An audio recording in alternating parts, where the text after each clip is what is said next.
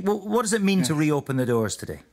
Um, it's it's very special, as you can imagine, Martin. We are so pleased to be able to open our churches again. But I'd remind everyone that we have worked very hard, the clergy and volunteers, hundreds of them, to make sure that our churches are safe places um, for worship and for gathering.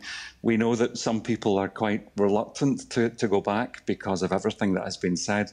But according to any evidence that I've seen that's available, you are far, far less likely to catch COVID in church than you are in a supermarket or in a school. We do do we go to great lengths to try and make sure that we are obeying the guidelines as they've been set down so that everywhere everyone is safe. Uh, yeah, far easier to, to con control a congregation, I guess, than control shoppers or school pupils, I'm sure.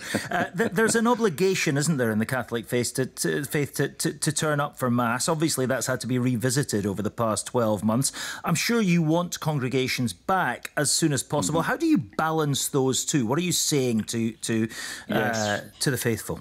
What, what we've done is the uh, the bishops' conference. That's the the eight bishops, seven at the moment since Archbishop Tartaglia died. Um, we we got together and we agreed to suspend what we call the Sunday precept, which is our obligation that we place upon ourselves to to get to to Sunday Mass and to the sacraments um, until the COVID crisis is over, Martin. So we're not. It, it's it's self evident that it would be foolish to oblige people to go to to church in such circumstances. So we we encouraged people to uh, to pray together on a Sunday to make the Sabbath holy as best they could, and and if if they wished to to watch mass online and so on. But as we all know, it's just not the same. And I was delighted to see that. I was very pleased to see that in Lord Braid's judgment that he had an appreciation of that for all Christians. But he did mention the Catholic view on this in particular that the sacraments for us, we, we are not disembodied spirits, we are flesh and blood as well. And gathering together and celebrating the sacraments is very, very important to us. It's central to who we are and to our self-understanding. Imagine you can't you can't baptize people online. You know there, are some things that that you have to do in the presence of another person. There are still restrictions, aren't there, Archbishop Cushley, on on what you can do. There's no singing. All sorts of parts of the traditional service uh, have had to be adapted or postponed for for now.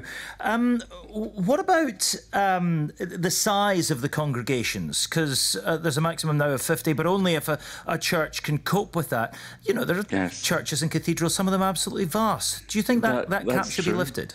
It's it's a it's a very tricky one. I I think for now we ought to be prudent. I'd like to echo what Martin said about about that sense of, of public responsibility and duty. So I, I welcome our churches being open, but I think I would continue to urge prudence and caution and and to be content for now with the with the 50 cap. Um, I look forward very much to the day when I can get get get my cathedral full again. It seats 850 and with standing room for 150.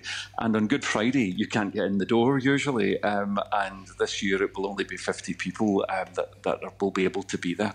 So we're going to miss that and miss it deeply. Um, but I think for now we are still in the in the midst of the pandemic, and we're not quite there yet. There's lots of good news about the success of the vaccine and the the numbers going down in hospital and dying and all that. That is to be very much to be welcomed. So we need to play our part in that as well. So let's be let's be prudent for now. I think.